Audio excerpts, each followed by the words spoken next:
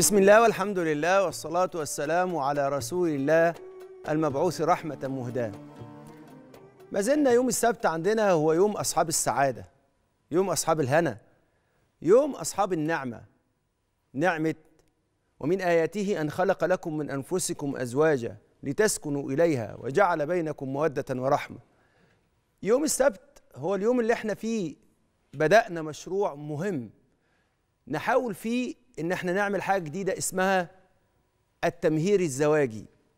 إن إحنا نكسب الأزواج مهارات زوجية تكون من شأنها. إذا هم عاشوها واستخدموها توصلهم إلى السعادة بكفاءة وفاعلية. مش بس كده تكون دوت نوع من أنواع إكمال ما كان يجب أن يكون أو المساعدة على إن الناس تكون محققة لقوله صلى الله عليه وسلم من استطاع منكم الباءة فليتزوج وهو التمهير الزواجي. انتهينا من الكلام عن مهارة التأمين الزواجي والنهاردة بنكمل الكلام عن مهارة الاهتمام الزواجي. وذكرنا شوية إجراءات وشوية بروسيس سيرورة إزاي نحقق نحقق حالة الاهتمام الزواجي. والنهاردة هنقف عند حاجة مهمة جدا جدا جدا في مسألة الاهتمام الزواجي. كل الناس بتقول إزاي أحس بال... احسس شريك حياتي أو زوجتي بالاهتمام؟ بتبقى حاجة صعبة معضلة. اللي أنا بقوله ده وإن كان ده الإجراء الثالث وإن كان ده المهارة الثالثة من مهارات الاهتمام الزواجي لكنها أستطيع إن أنا أقول لكم مهارة في صلب وعين الاهتمام الزواجي. اللي هي مهارة إيه؟ مهارة أنت إزاي توصل لشريك حياتك سواء كان الزوج أو الزوجة إزاي توصل لزوجك الأولوية في الحياة؟ إزاي تحسسه وتأكد له إن هو أولوية في حياتك؟ لأن في حاجة مهمة قد يكون كتير مننا ما يعرفوهاش وهي إن الأسرة أساسها الزوج والزوجة وإن الأولاد نعمة إضافية ربنا سبحانه وتعالى بيمن بيها على الأسرة بس مش هي الأساس الأساس الزوج والزوجة. لأن الله سبحانه وتعالى قال ومن آياته أن خلق لكم من أنفسكم أزواجا لتسكنوا إليها وجعل بينكم مودة ورحمة. فالزواج بيبتدي بالزوج والزوجة وبعد كده ربنا سبحانه وتعالى يمن يمن عليهم ويرزقهم الذرية.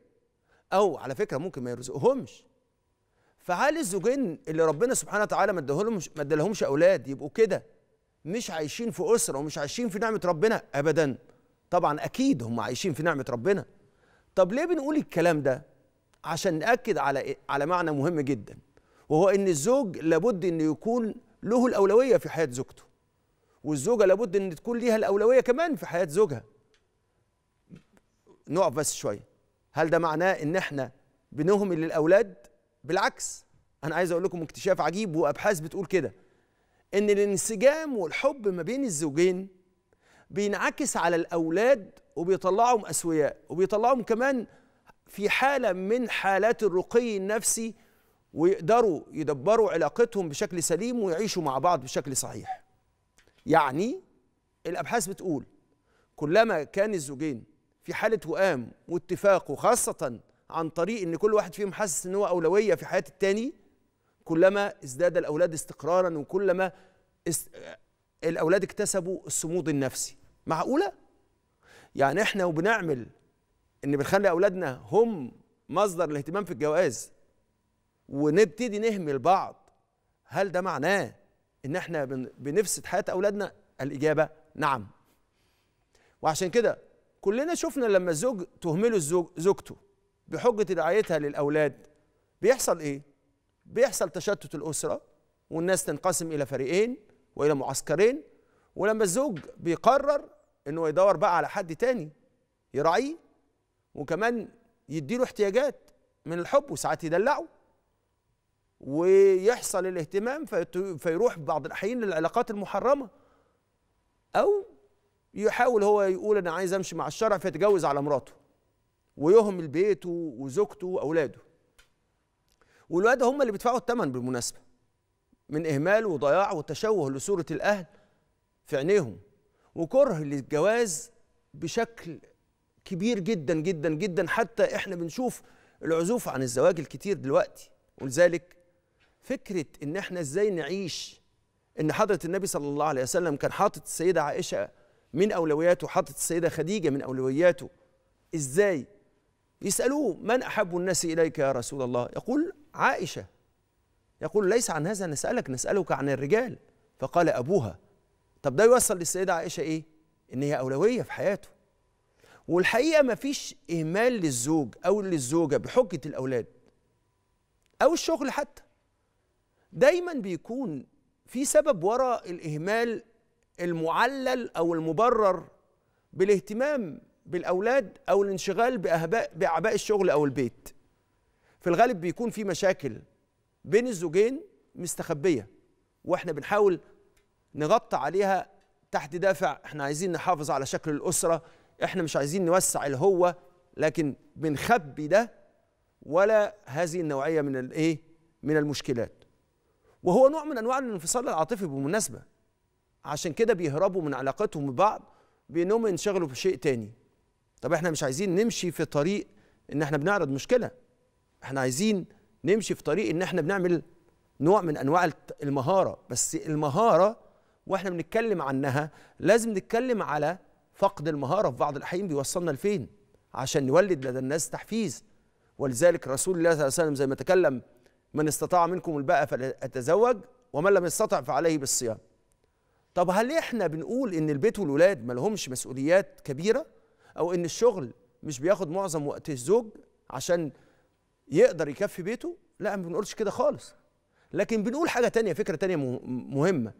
إن وجود المسؤوليات دي لازم نقدرها بقدرها وما تسرحش على إن هي تخفي أولوية الأزواج في حياتنا. طب إزاي نحافظ على أولوية الأزواج في حياتنا؟ في وسائل كتيرة منها أربع وسائل. أول حاجة التفقد على مدار اليوم بالمكالمات والرسائل. شوفوا حضرة النبي صلى الله عليه وسلم أنا جبت الكلام ده منين؟ شوف السيدة عائشة صحيت مرة فيقول إيه؟ فقدت رسول الله ذات ليلة. يعني إيه اللي حاصل؟ يعني هي واضح إن هي كل شوية بتصحى وإيه اللي حاصل؟ وتطمئن على وجود رسول الله صلى الله عليه وسلم. فتفقد شريك الحياة وتفقد الزوج والزوجة شيء مهم جدا. فلازم نتفقد شريك الحياة برسائل. ممكن نبعت رسائل للزوج رسالة اطمئنان عليه. لما يوصل شغله أو نسأله هو النهارده هناكل إيه؟ الحاجات دي مهمة على قد صغرها بتدخل تحت قوله صلى الله عليه وسلم لا يحقرن أحدكم من المعروف شيئا ولو أن يرقى أخاه بوجه طلق ولا تحق ولا تحقر الزوجه شيئا ولو أن ترسل رسالة لزوجها. ده شيء مهم جدا. أو تدعي له ربنا سبحانه وتعالى يوسع رزقه وييسر أموره وينجحه في الاجتماع اللي عنده النهارده أو في المقابلة اللي عنده النهارده. ونفس الحكاية في الزوج. يقدر يرسل لها رسالة يقول لها أنا عارف إن النهارده وراكي حاجات كتيرة ربنا معاكي وقلبي معاكي. يبقى إيه اللي هيحصل؟ الرسائل دي هيكون من شأنها إيه؟ من شأنها إن هي تطمن. من شأنها إن هي تحس إن في حد معاها وسند وجنبها فتحس بالاهتمام وهو كمان يحس بالاهتمام. وكنا زمان عندنا شوية حاجات إحنا دايما عايز أقول لكم حاجة. دايما الأولاد بيبقوا إما مكان للعراك أو مكان لبيان المودة بشكل واضح. فكنا زمان مثلا إحنا وراجعين نجيب للأولاد حاجات لطيفة أو نجيب فاكهة للبيت أو أول ما ندخل نحتضن الأولاد ونظهر شوقنا لزوجتي ولأولادي. ولذلك من الحاجات المهمة جدا جدا جدا إن عند العودة يبقى العودة فيها شيء من البهجة. الحاجة الثانية اللي إحنا ممكن نعملها إشراك الزوجين بعضهم في أي حدث مهم في حياتهم قبل أي حد. فاكرين؟ الست تقول ده أنا عرفت من بره. والزوج يقول أنا عرفت من بره. فيبان فيبان هنا إن هو مش أولوية. إيه ده؟ مالي الأولوية بإن هو أبلغه بالحاجة؟ لا لا لا لا. ده الاهتمام بيظهر إن الشخص ده أول ما بيفكر في الحاجة بيفكر فيه هو. ساعتها يحس بإنه إيه؟ مهم. يعني لو اتعرض على الزوج مثلا شغل جديد مثلا هتبقى الزوجة سعيدة جدا جدا وتحس بأولويتها لو كانت هي أول حد يعرف الحكاية دي. وأول واحدة ياخد رأيها. يعني هي تحس بإن هي حاسس باهتمامها. ولو عايزة هي تعمل مشروع بسيط مثلا هيبقى برافو عليها لو إن هي قبل ما تدخل في المشروع ده كلمت زوجها وخدت رأيه. لأن دوت هيحسسه بان هو مهم مش ان هي بعد ما تعمل المشروع تقول له والله أنا عملت كذا كذا وصلت للحاجة دي. يبقى لازم الاثنين يتعلموا يفكروا كأنهم كيان واحد. وهذا اللي بيخليهم يخرجوا من الأنا إلى النحن. ساعتها هيبقوا مع بعض وساعتها الاثنين هيحسوا بالأهمية. في الأمور الخاصة كمان بالأولاد لازم يكبر كل واحد فيهم شريك الحياة. فدايما الزوج يقول لهم الزوجة مثلا تقول تقول لأولادها إيه؟ لما يجي بابا لما يجي بابا ناكل لما يجي بابا ناخد رأيه نستنى لما يرجع بابا وناخد آه نتشاور معاه. وهو كمان يقول لهم ماما لو مش موافقة أنا مش موافق. يبقى إيه اللي حاصل؟ يبقى اسمعوا كلام ماما. وما تتعبوهاش. تعالوا كلنا نحضر الأكل مع ماما. شايفين الحاجات الصغيرة دي؟ كلها داخلة في واللقمة ترفعها إلى في زوجتك صدقة. صدقه تحسسك بإن أنت مش مهمل ولا مهمش. يبقى كل الكلام الإيجابي ده في حق الزوج أو الزوجة بيخلي الحياة مع الأولاد هم حاسين بضرورة وجود الزوج والزوجة في حياتهم. فيحسوا بإن كل واحد مهم. لأنه بكده هنكون إحنا الاثنين واحدة ونكون كيان واحد وإحنا بنربي الأولاد. مش كل واحد ماشي في اتجاه وباستمرار يكون ظاهر مدى أهمية التر... شريك الحياة والزوجة في حضور في أي موضوع يختص بالأولاد. رابع حاجة الاهتمام بجودة الوقت اللي بنقضيه مع بعض. يعني لما نيجي نقعد مع بعض نقعد وقت محترم. الوقت فيه إن الزوج قافل التليفون وقاعد يتكلم مع مع زوجته. ومالي البيت بهجة ومرح. مش الشوية اللي هنقعدوا مع بعض تبقى شوية نكد وأعباء. وهي لما تشوفه كل شوية ما ما عندهاش غير طلبات طلبات طلبات طلبات. لازم الوقت دوت يكون وقت فيه جودة. لما يحس الشخص إن هو في حد مهتم بيه عارفين إيه اللي بيخلي الأزواج يزعلوا؟ لما زوجتهم أول ما تقابلهم كده تقابلهم بالطلبات عارفين إيه؟ يحس إن هي مش مهتمة بيه. ما فكرتش فيه. هو بيقول كده. بيقول هي ما فكرتش فيا. ما فكرتش في تعبي. ما فكرتش في إن أنا محتاج الاحتضان. ولذلك السيدة عائشة تقول ما قبض رسول الله إلا بين إلا وهو بين صدري ونحري. يبقى في الأوقات اللي زي دي الزوج محتاج احتضان ومحتاج نوع من أنواع الحنان زي ما الزوجة بالفعل كمان رسول الله صلى الله عليه وسلم لما تتوجع السيدة عائشة فيقول هي تقول ورأساه بل يقول بل أنا ورأساه يا عائشة يبقى إيه اللي حاصل؟ يبقى في الأوقات اللي زي دي لما بنحس إن الوقت ده وقت مليء بالاهتمام وقت مليء بالإقبال وقت مليء بإرادة الإسعاد. ويا سلام لما يجي يفكرها بالحاجة الحلوة اللي كانت الذكرى الحلوة اللي كانت بينهم. وتقول له يا أنت لسه فاكر؟ يا سلام. بتحس هي بالاهتمام في حد فاكر التفاصيل الحلوة اللي بينهم. مش لما يقعدوا يجيبوا من الماضي أسوأ ما فيه. لا كمان إجراء مهم عشان الاهتمام وإن هو أولوية يحسسها إن الماضي اللي هو فاكره وإن هي الماضي اللي هي فاكراه هو الماضي السعيد مش الماضي المليء بالألم والجراح. وعشان كده حضرة النبي صلى الله عليه وسلم قال فليقل خيرا أو ليصمت. لو مش هجيب مش هعرف أجيب من الماضي حاجات حلوة ما استدعيش الماضي. وفي إجراءات بقى. زي ما إحنا قلنا الإجراءات دي الإجراءات دي تخلي الواحد يحس دايما بالاهتمام إرسال الرسائل أو المكالمات. ومش لازم يعني أنا هكلمه يبقى لازم الوح لغاية ما يرد. لا هو لما يشوف مكالمتي وأنا لو ما ردش عليا أبعت له رسالة كنت بطمن عليك يا حبيبي. بس كنت بطمن عليكي الحمد لله إن شاء الله تكوني كويسة. لما تفضي بقى كلميني أطمن عليكي بس. كلام في غاية الاحترام. كلام بينفذ سنة رسول الله صلى الله عليه وسلم. كلام بيحسس الشخص اللي قدامك بإن هو نعمة. ولازم نختار الأسماء اللي بتحسس تاني حاجة. عشان يحس إن أولوية لازم تحسسه تناديه باسم. كل واحد فيكم ينادي التاني باسم يختار لكل واحد اسم يحسسه بإن هو من غيره حياته يحصل لها أي يحصل لها نوع كبير من الخلل. يعني إيه اللي حاصل؟ حضرة النبي صلى الله عليه وسلم لما ينادي على السيدة عائشة يدللها بس أهم حاجة أن هو سماها أحب الناس إليه. تجد في بعض الأحيان الزوجات تعمل إيه؟ تروح مسمي زوجها مثلا على التليفون إيه؟ أبو الولاد. طب أبو الولاد ما هو عايز يحس إن هو مهم. يعني الأولاد لما لما يتجوزوا مش هيبقى هو موجود في الحياة؟ أو الأولاد لو هو غاب وما يبقاش موجود في الحياة لازم تسميه اسم وتناديه باسم يحسس يحسسه بالأهمية. وهي لازم كمان هو يناديها باسم يحسسها بأهميته بالنسبة له.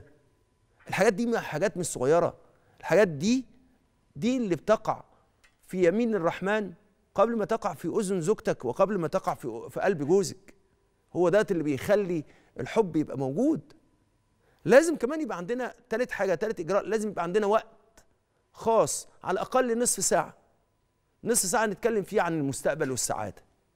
كل ما نتكلم عن المستقبل والسعادة كل ما الناس كل ما الحياة بتتسع. وكل ما نخرج من ضيقنا إلى سعة التعامل مع الله سبحانه وتعالى. الإجراء الرابع والمهم إن إحنا لازم نتعود إن إحنا نخرج مع بعض لوحدنا. لوحدنا. لوحدنا. نخرج مع بعض زي ما رسول الله صلى الله عليه وسلم كان بيسابق السيدة عائشة. تحس إن هي ليها وقتها ليها خصوصيتها. عارف أقول لكم حاجة؟ أسوأ حاجة ممكن يحس بيها الزوج والزوجة إن هو تايه في وسط الأولاد إن هو تايه في وسط البيت إن هي تايهة في وسط البيت. لكن لما بتخصص له وقت يعمل الحاجات اللي هو بيحبها. أو تعملوا مع بعض الحاجات اللي بتحبوها ساعتها هيحس كل واحد فيكم إن هو في أولويات شريك حياته. آخر إجراء لازم نعمله مهم قوي قوي قوي بلاش المقارنات مع الأهل وبلاش لما يجي الزوج يحسس الزوجة بإن هو بر بوالديه لازم يحسسها لازم يتكلم عن أهله في مقارنة بيها. أنا أهلي مفيش حد قبلهم. يا أخي ما أنت ممكن تقول الكلام ده في قلبك مش لازم تقول لزوجتك. طب دي مش حقيقة. يا سيدي هو هو لا أنت لازم تقول تقول كل حاجة. ما الكلمة الطيبة صدقة. ده هيوجعها. أنت لازم تقولي له أنا أخويا هو الراجل الوحيد اللي واقف في ظهري. ليه يا بنت الحلال بتقولي له كده؟ يبقى لازم وإحنا بنتكلم عن الأهل نتجنب المقارنة. ويا حبذا لو إن كلامنا عن الأهل يبقى مع الأهل لكن كلامنا مع بعضنا إن كل واحد فينا هو رقم واحد في حياته. ربنا سبحانه وتعالى لما ربط من بين الاثنين وجعلهم نفس واحدة جعلهم نفس واحدة عشان كل واحد فيهم لما يجي يبص يبص على شريك على يبص على زوجه سواء كان زوجته أو زوجها اولا لأن دوت أول حد هتتسأل عنه وأول حد هيتسأل عنها يوم القيامة.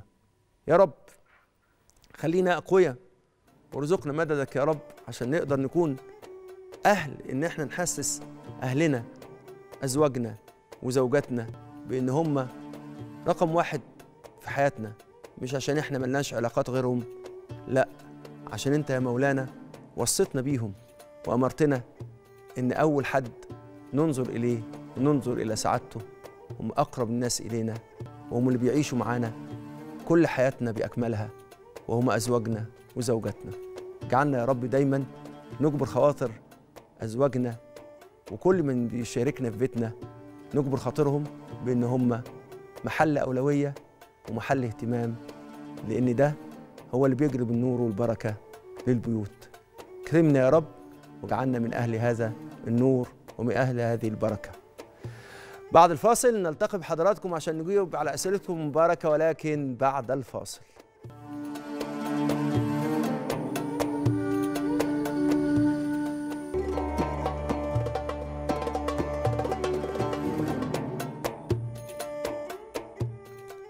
رجعنا لحضراتكم معانا صفحتنا على الفيسبوك صفحة برنامج ولا تعسروا اللي بنتلقى عليه أسئلتكم المباركة واللي إن شاء الله هنسعد. بكثير من التواصل وخاصة في أيام المباركات وإحنا بنستعد للشهر الكريم وكمان بنتمم الشهر المبارك شهر شهر شعبان. أول سؤال وصل أول سؤال معانا النهاردة أستاذ أحمد بن أسيوط أستاذ أحمد. عم الشيخ إزاي صحتك عامل إيه كل سنة وأنت طيب نعمة وفضل الحمد لله. إزيك يا عم الشيخ أنت منورنا والله وبسمعك على طول البرنامج الله يعز حضرتك الله يبارك في حضرتك يا أستاذ أحمد. اتفضل يا سيدي. أنا أسألك بس في سؤال يا عم الشيخ آه، اتفضل. بالنسبة لضيق الرزق أنا في حاجات عملتها كتيره واشتغلت في شغل كتير بس آه، في مشاريع بتفشل معايا وفي الشغل ما كملش ازيد فيه من شهرين ولا كده وأسيبه طيب هكلم هكلم حضرتك أقول لك تعمل إيه يا حاج أحمد. في سؤال تاني يا حاج أحمد ولا خلاص إيه هو؟ في سؤال تاني لا لا شكرا شكرا هكلم حضرتك حاج أحمد في الغالب إن إحنا لازم نعمل حاجتين. أول حاجة لأن حضرتك اتكلمت على فكرة المشاريع. أول حاجة إن الله سبحانه وتعالى لا يضيع أجر من أحسن عمله. وجزء من إحسان العمل الاختيار الاختيار الصحيح. لأن فكرة إن أنت تختار عمل صحيح هو فكرة إن أنت تستثمر نعمة ربنا اللي أودعها فيك. في بعض الأحيان الناس بتختار مشاريع وبتختار حاجات مش مناسبة ليها. فإيه اللي يحصل؟ فيحصل إن هو يخفق ويظن إن ده نوع من أنواع تضييق الرزق. لا هو مش ضيق رزق. هو اللي حاصل ببساطة ان أنا لم أحسن الاختيار. يبقى لازم أنا أحسن الاختيار اولا. فتأكد حضرتك إن أنت بتختار مشروعات مناسبة لحضرتك لأن مش كل مجالات العمل بتكون مناسبة لكل الناس. لأن حتى اعملوا فإنه كل ميسر لما خلق له. يبقى في حاجة أقامك الله فيها ولذلك أنت لازم تعرف إيه اللي أنت شاطر فيه وتروح تشتغله. يبقى دي أول حاجة. اتأكد من ده وده شيء مهم جدا جدا جدا. الأمر الثاني إن في أوقات كتيرة بتبقى عنق زجاجة للناس مش عشان تتعذب ولا عشان تتضايق ولا عشان ربنا سبحانه وتعالى بيعاقبها.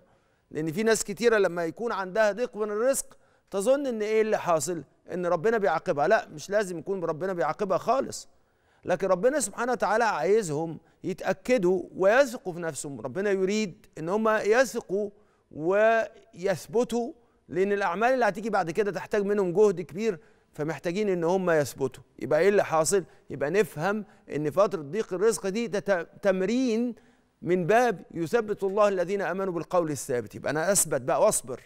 أصبر لما أكون شغال في الحاجة اللي أنا بحبها أثبت وأصبر وده ساعتها هيكون نوع من أنواع تثبيت الله سبحانه وتعالى. آخر حاجة بنقولها في مسألة ضيق الرزق وسع مشهدك.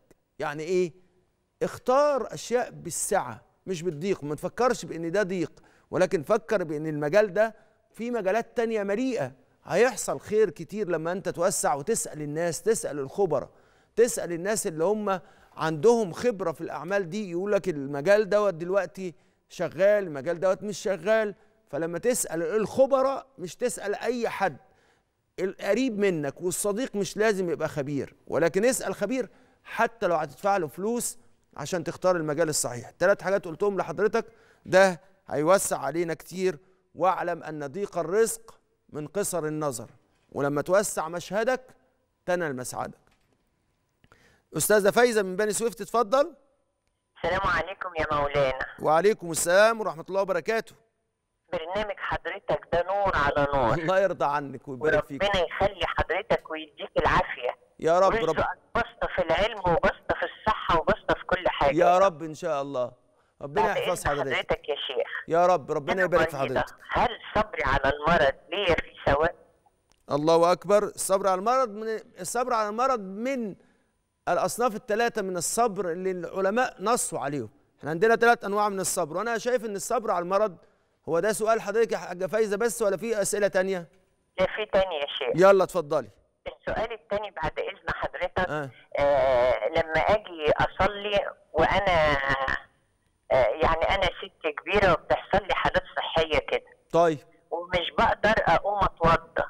في حد يوديكي ولا لا يا حاجة فايزه ست توديني الصبح وتوديني بالليل. الفترة دي بقى أعمل فيها إيه؟ هقول لحضرتك السؤال اللي بعده. السؤال اللي بعده بعد إذن حضرتك هل لينا ثواب على الإبن على الصبر على الإبن العق؟ حاضر أجاوب على حضرتك. اول شكرا يا شيخ. عفوا يا ستي. آه شكرا يا حاجة فايزة. أول سؤال هل الصبر أنا شايف إن الصبر على المرض صبر على الثلاث حاجات. إحنا عندنا صبر على الطاعة صبر على الطاعة يعني أن أصبر على بعض المش... على بعض المشقة التي قد تكون مع مع الطاعة زي ما عندنا الصبر على المرض أهو.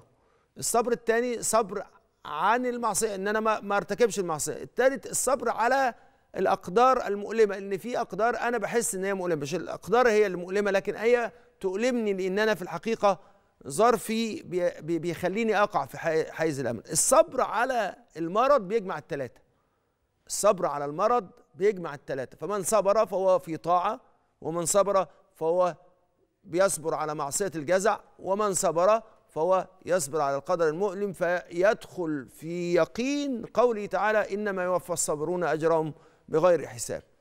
فطاعة طبعا بلا شك الصبر على لدرجة إن كل شو كل ألم يحصل به يحصل للإنسان الله سبحانه وتعالى إما يمحو به خطيئة أو يرفع به درجة. هذا من لطيف ومن جميل ود الله سبحانه وتعالى. مسألة الصلاة بقى وهي مسألة إن في حد بيجي يوضيكي في الصبح وبيوضيكي بالليل. خليه يوضيكي الصبح بعد صلاة الفجر صلي الفجر بالوضوء وبعدين يوضيكي بعد صلاة الفجر وحتى اتوضي ولو إن أنت ما عندكيش حد اجمعي ما بين الصلاتين بوضوء واحد بس. طيب وإذا كان عندنا وخاصة لو كان عندنا سلس بول أو كان عندنا أي عذر من الأعذار اللي فيها نوع من أنواع عدم القدرة على ده يبقى أنا أتوضأ على ما قاله الشيخ عليش وما أفتى به يبقى خلاص نتوضأ للصلاتين مع بعض نجمع ما بين الصلاتين بوضوء واحد يبقى هتوضا للظهر والعصر وأتوضأ للمغرب والعشاء وأصلي بهما حتى لو أدى ذلك إلى الجمع ما بين الصلاتين ونعمل بحديث سيدنا عبد الله بن عباس أنه جمع بين الصلاتين في غير سفر ولا مطر لكي لا يحرج أمته. فالأمر عندك على الساعة. أما الصبر على الولد العاق ده ثوابه عظيم لأن في الحقيقة الصبر على الولد العاق ده قد يكون باب من أبواب الهداية وباب من أبواب الدلالة على الله. إن شاء الله ربنا يكرم حضرتك ويجعلك من الصابرات إن شاء الله اللي يفتح لهم أبواب الجنة وخاصة نحن في أيام مقب... الأيام اللي إحنا فيها دي هيأتي أيام يضاعف لها الثواب إن شاء الله. بس كتري من الدعاء ليه الابن العاق من أهم الحاجات اللي إحنا لازم نعملها إن إحنا نكثر من الدعاء له وخاصة في السجود في سجود كل صلاة. إن شاء الله ربنا في شهر إن شاء الله ربنا سبحانه وتعالى يهديه إذا التزمنا مسألة الدعاء له في كل سجدة من سجدات الصلاة. أستاذ محمد يتفضل. السلام عليكم. وعليكم السلام ورحمة الله وبركاته أستاذ محمد اتفضل. مع حضرتك محمد منصور من القاهرة. أهلا وسهلا أستاذ محمد. والله والله حضرتك أنا موجوع وجع جامد قوي سلامات. و... آه الله يسلم حضرتك يا رب. أنا كان معايا زوجة قعدت معايا 8 سنين. وكانت الدنيا ماشية وحلوة وكده. وبعدين؟ فلما الدنيا ضاقت بقى جبنا بقى توك توك واشتغلنا عليه وكده والدنيا كانت ماشية حلوة برضك وزي الفل وربنا مرضينا الحمد لله. يا رب. الحمد لله يعني كان الدنيا ماشية. وبعدين مرة واحدة بقت كل شوية ألم الشنطة يا من دمنهور كل شوية ألم الشنطة وأسافر كل شوية ألم الشنطة وعايز أمشي. طب أنا حنين مش مقصر معاكي في حاجة طلبات بيتك آه، كل اللي أنت عايزاه لبس وفسح وخروجات ومن اسكندرية للهرم لبورسعيد لكل دوت ف- فحصل إيه يا حاج محمد؟ والله يا فندم جت مرة واحدة هي قالت لي أنا قريب أو بعيد من من بقالها كام سنة كده قريب أو بعيد أنا أنا كده كده هتطلق. فمن هناك من من الوقت ده وأنا حاطط في دماغي إن هي في أي وقت هتطلب الطلاق وهتغدر بيا. حتى أنا قلت لها إن أنا حاسس إن أنت هيجي في يوم من الأيام وتغدري بيا. المهم جت في مرة لمت الحاجة فأنا طبعا بقى إيه ما بخليهاش تلم حاجة. قامت تلم الشنطة فحلفت عليها بالطلاق قلت لها على الطلاق أنا يبقى إحنا مسألتنا أنا برضو مستني دي يبقى إحنا مسألتنا إن أنت حلفت عليها بالطلاق. لا أنا حلفت بالطلاق إزاي حضرتك ما أنا حلفت بالطلاق على حاجة طيب بس. قول لي يعني هو سؤالك عن الحلفان بالطلاق صح كده لا لا يا فندم أنا حلفت عليها بالطلاق لو لميتي حاجة من الدولاب أنا مش هقول لك رجعيها تاني عايزة ترجعيها بقى رجعيها ما ترجعهاش ما ترجعهاش طيب. أنت اديتها فرصة عشان عارفة حلفان الطلاق عندي ده لما بحلف بالطلاق لو لو اللي قدامي إيه بنفذ الطلاق طيب. فين السؤال يا حاج محمد؟ محرمة.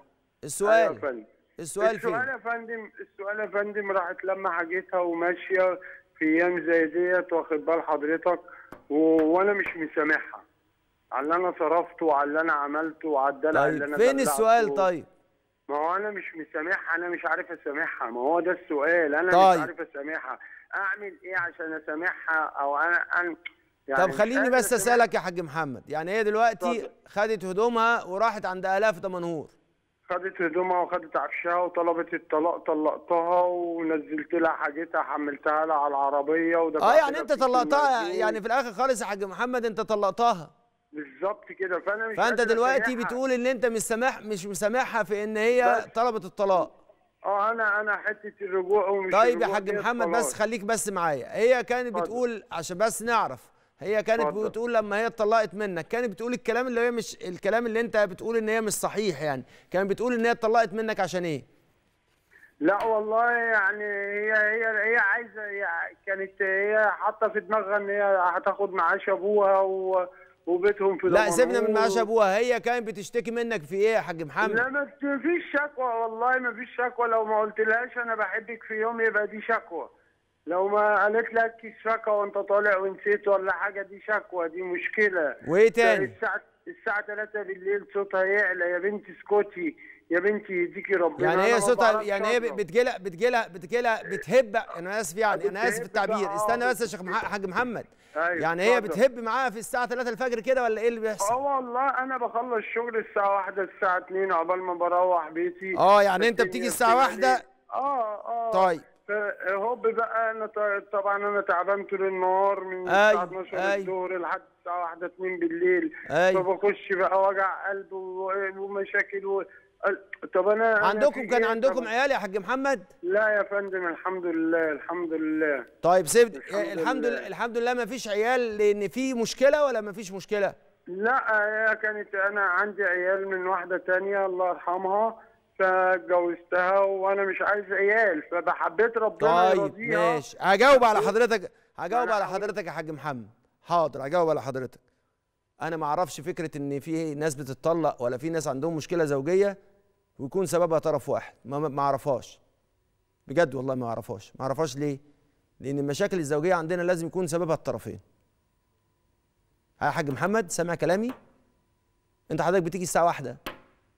ومش عايز تخلف منها. فهي قاعدة لوحدها.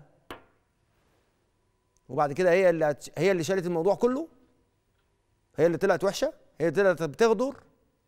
واحدة انت مش عايز تخلف منها هتكون هتكون مبسوطة. هي ما كلمتنيش بس انت كلمتني. وأنا اتعلمت في مسائل ال- ال- العلاقات الزوجية بدل انت مش عايز تسامحها اسأل نفسك. اسأل نفسك هل امرأة تتحمل إن جوزها يجي لها الساعة واحدة بالليل؟ فتفضل طول الوقت وهي ما عندهاش عيال تتحمل ده. أنا مش عشان طيب خاطرك أقول لك إيه إن هي ظلمتك لأ أنا هسألك أنت كان نصيبك قد إيه من المشكلات اللي أنتوا عملتوها دي مع بعض؟ يا حاج محمد الإنصاف حلو والإنصاف يطيب على فكرة الإنصاف يطيب القلوب. لما الواحد يكون منصف كده قلبه يطيب.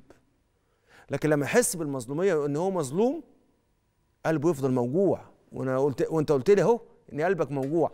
عارف اللي هيطيب قلبك إيه؟ الانصاف. هي موجودة قدامي مش موجودة قدامي بس أنا بقول لك سنة ربنا في في الحياة. سنة ربنا في الحياة إن أنت كن منصفا يطيب قلبك. ليه؟ إحنا اتطلقنا. اتطلقنا اتطلقنا بعد إيه؟ بعد خد وهات وكل شوية هي تقول لك أنا هروح لأهلي. وإيه اللي حاصل؟ وأنت شايفه إن هي ملهاش حق. فأنا عايز أقول لك حاجة. أنت مش بتكلمني في الصلح دلوقتي أنت بتكلمني أعمل إيه في وجع قلبي. انصفها من نفسك. انصفها من نفسك. فلما تنصفها من نفسك مش معنى كده إن هي مش ممكن ما تكونش ظالمة. أنا بكلمك في اللي داوي قلبك أنت. هي مش موجودة قدامي دلوقتي هي قد تكون ظالمة على فكرة. لكن أنت عايز تداوي قلبك انصفها من نفسك. يعني إيه اللي حاصل؟ قول والله العظيم ده أنا عملت كيت وكيت وكيت وكيت وكيت. عشان لو قدر ربنا ورجعتوا لبعض ترجعوا على على صفاء ترجعوا على مية بيضة زي ما بيقولوا. والإنصاف عزيز لكن الإنصاف ده يعزز الإنسان على النفس الأمارة بالسوء. ولذلك أنا بنصحك عايز قلبك يطيب من الوجع كن منصفا. أستاذة منى تتفضل. السلام عليكم ورحمة الله وبركاته. وعليكم السلام ورحمة الله وبركاته. كل سنة وحضرتك طيب. وحضرتك طيبة يا أستاذة منى. نفسي تدعي لي دعوة حلوة كده ربنا يتقبلها يا رب يرزقني بابن الحلال يا رب إن شاء الله. ربنا إن شاء الله يرزقك الخير والبركة ويفتح عليك إن شاء الله ويرزقك رزقا حسنا ويرزقك من يف- يفتح لك أبواب القرب والمحبة والوصل بمولانا سبحانه وتعالى وبحضرة النبي. يا رب. سؤالي بقى حضرتك بعد اتفضلي. أنا ليا عندي جوز أخت كل لما يحصل مشكلة معاها بيحلف عليها بالطلاق إيه حكم إن أنت حضرتك إيه أو رأي حضرتك اللي اللي يحصل مشكلة بينه وبين أولاده كل شوية يحلف على مراته بالطلاق ده زوج ده زوج؟ أخت حضرتك؟ أيوه آه. ده طيب. اولا. آه، ثانيا آه، في حاجة اسمها آه، علاج روحاني. يعني لو حد على حد على واحدة أو على واحد بالقرآن بيعالج فعلا روحاني في حاجة اسمها كده؟ علاج لو روحاني؟ جيت- أنا أنا أنا أفهم إن العلاج دوت كمفهوم يعني؟ مفهوم العلاج دوت آه، ده مصطلح. العلاج دوت يعني في تشخيص وفي عقاقير بتتاخد له. هل هو بيعمل كده؟ والعقاقير يعني دي إيه؟ مجربة؟ يعني يعني مش فاهمة يعني عقاقير- يعني إيه؟ أدوية. أدوية بتتا... العلاج دوت في أدوية بتتاخد في الفم أو تتاخد حقن لا في لا الجلد؟ لا لا علاج روحاني ده يعني معناه إن بيقرأ عليه القرآن ولو في حاجة بيقول لك عليها بإعتبار في إن هو مثلاً بإعتبار إيه؟ باعتبار إن هو بيعرف الحاجات دي منين؟ بالوحي يعني؟ طب إحنا آه، هناك هناك. في الطب بنعرف الحاجات دي بالأعراض. بالأعراض. المدروسة في الأكاديميات وفي علم الطب. هو بيعرف الأعراض دي إزاي؟ يعني إيه الفرق ما بين الجن العاشق وإيه الفرق ما بين الجن الدحلاب السحلاب؟ إيه الفرق؟ أنا ما أعرفش بصراحة ما أنا ما أنا, بحاول ما هو الكلام مش لحضرتك بس الكلام لحضرتك والسادة المشاهدين.